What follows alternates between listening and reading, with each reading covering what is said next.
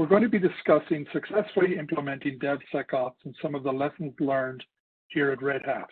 My name is William Henry. I'm a Senior Distinguished Engineer, and with me I have Hi, I'm Lucy Kerner. I am um, the Senior Principal Security Global Technical Evangelist and Strategist and lead the technical and go-to-market strategy for Red Hat, um, Red Hat for security across the entire Red Hat portfolio.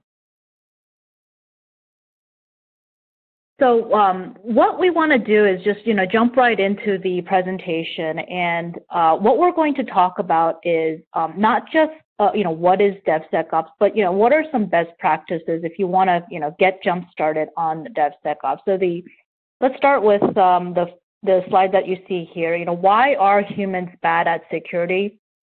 This is the research done by Analyst Firm 451.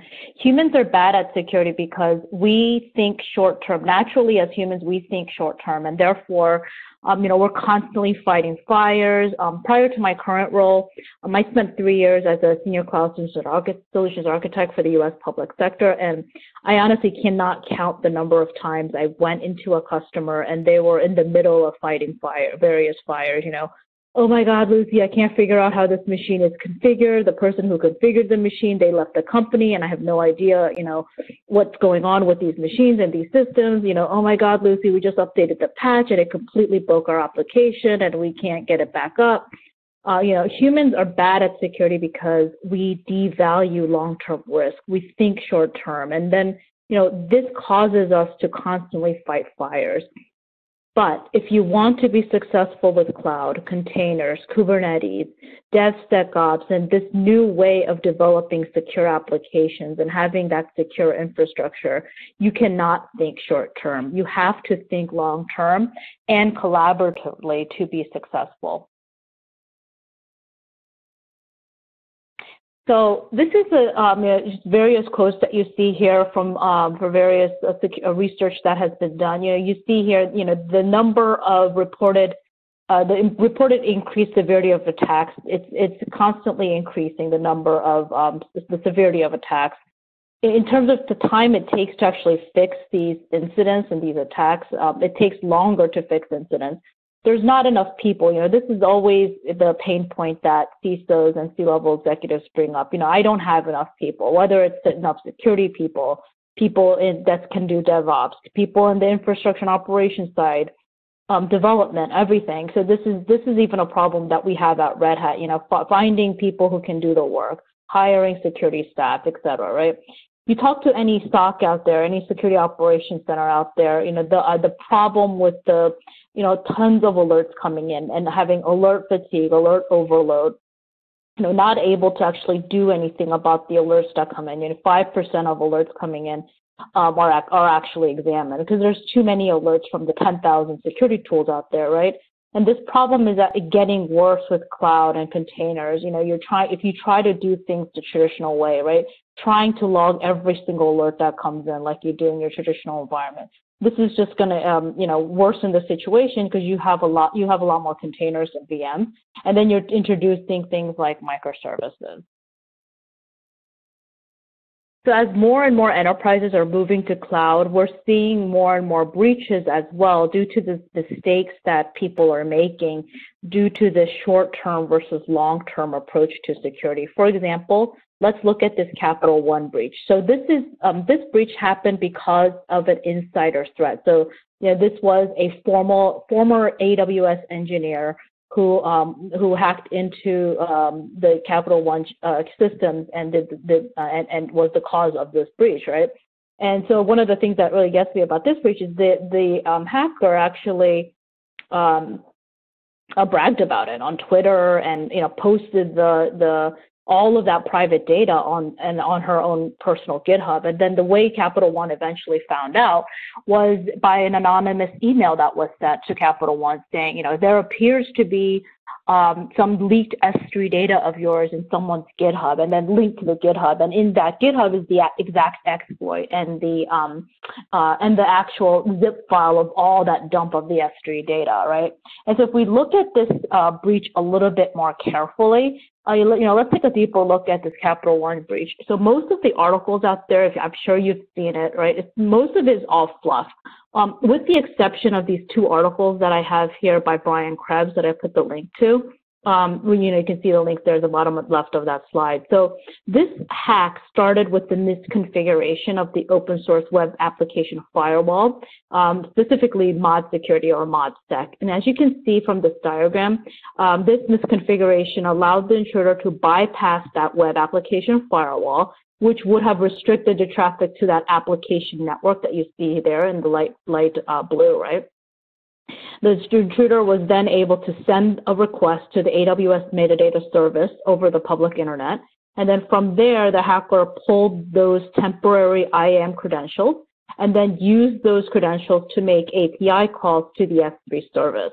So this combined with that overly permissive admin IAM role um, on their EC2 host um, allowed that hacker to dump and download the contents of the S3 storage and then, of course, that contained all of that sensitive customer data, which subsequently the hacker posted on their uh, her personal GitHub page, right? Um, so this type of vulnerability exploited by the intruder, this is not from Cap, um, this Capital One hack.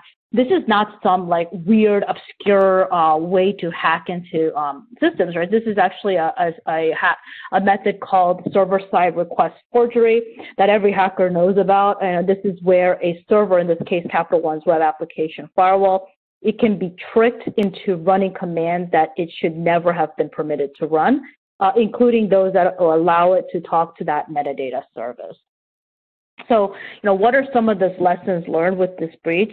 Um, you need to have strict control and have very strict gaps between the application and the operations role and their credentials. And also an automation strategy could have helped here as well. So automation is, you know, it will help improve security and compliance. It is also a prereq to DevOps and DevSecOps. So let's take a, the, um, the, the, Capital One breach as an example, right?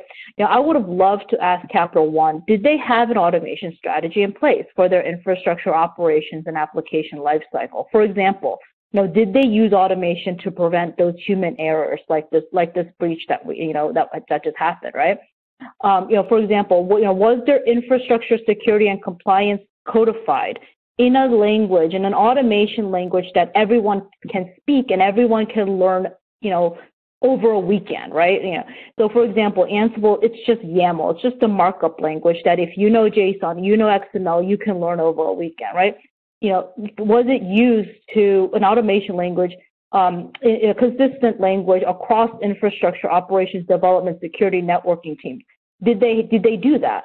Um, did, did, did, they use an automation language like that? Did, um, did they did their web application, you know, the web application firewall configs are just dot .conf files, right?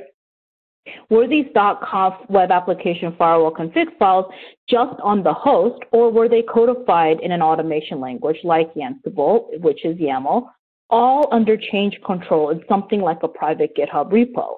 Now, was there a strict code review process to monitor the changes to these configurations so multiple eyeballs are on these configurations. You know, was there automated testing done? Was automation used for IAM roles assignment, right? The configuring these IAM roles with, and then verification and testing in place to ensure that the correct IAM roles were set. You know, you want to have that tight control over the configuration on IAM roles because if that could have prevented the capital, this breach, right? Uh, potentially. And automation could have helped achieve this. So automation helps reduce these human errors, which are inevitable when a human enters a data center. Um, automation could have helped reduce, um, could help, could have helped reduce that risk, save time and money. It would have, it could have also allowed you to do continuous security and continuous monitoring automation allows you to bake security in from the start. You're not doing this band-aid firefighting approach, right? And automation allows you to do everything as code as we just spoke about, giving you that repeatability, ability to share, ability to verify, and ability to audit, which are all key to uh, doing security. And automation allows you to handle all of these alerts that are coming into the SOC. Now, by taking that proactive approach to remediating all of those alerts that are coming in, and automation allows you to improve both security and compliance. Again, this is which is that prereq to do to doing cloud containers um, and DevSecOps successfully. It allows you to take advantage of that dynamic infrastructure um, that cloud technologies brings and allows you to um, you know recover quickly. As you see here from this quote uh, from Forrester, you, the bad guys are using automation. You want to fight fire with fire. And automation, as you see here, you want to automate anything you can as this is what is reducing those human errors associated with many breaches that are seen. And this is a direct quote from the 2019 and 2018 Verizon Data Breach Report, which I highly recommend um, all of you read.